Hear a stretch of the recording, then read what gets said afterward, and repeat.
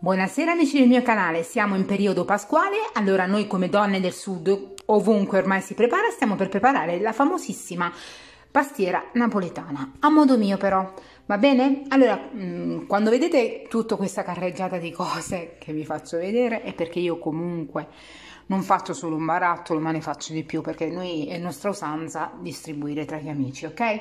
Allora per un, adesso prepariamo solo il ripieno ok? Quindi per il ripieno usiamo 700 g di ricotta 500 di zucchero 10 uova una bustina di vanillina una fiala, una fiala di fior d'arancio e un barattolo di grano cotto e 150 di cedro e 150, eh, 150 di cedro e 150 di buccia d'arancio, ok? Quindi adesso iniziamo, vi faccio vedere tutte le varie fasi.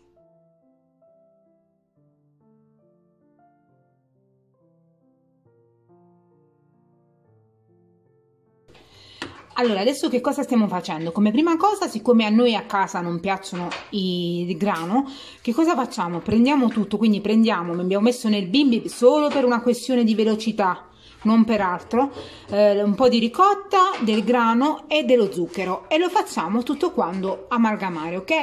Vi faccio vedere come è uscita per adesso, dopo andranno aggiunte ancora le uova, i canditi, guardate, ok?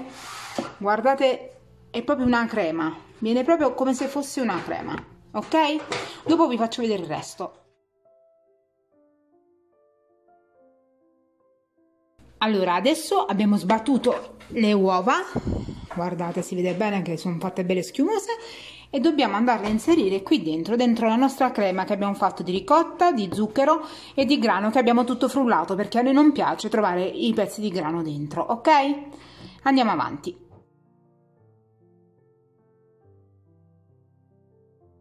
Eccoci qui, allora adesso al nostro composto di ricotta, di grano e di zucchero abbiamo aggiunto anche le nostre uova. Considerate che questo è una dose triplicata per cui non vi spaventate. E vedete la consistenza, guardate, a noi deve essere proprio crema, cioè non è una crema, ok? Adesso ci aggiungiamo la vanillina, i fiori d'arancio e la, la scorza d'arancio di cedro che adesso andrò a frullare, poi vi faccio vedere.